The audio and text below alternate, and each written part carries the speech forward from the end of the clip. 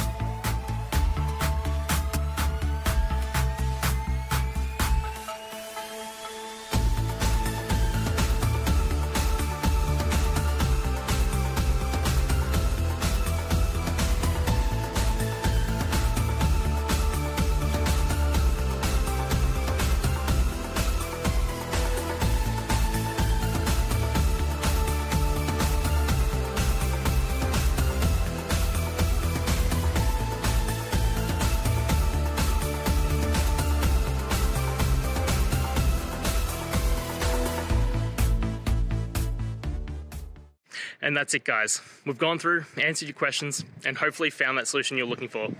If we did, please hit subscribe. I'd really appreciate it. And until next time, I hope you have a good one.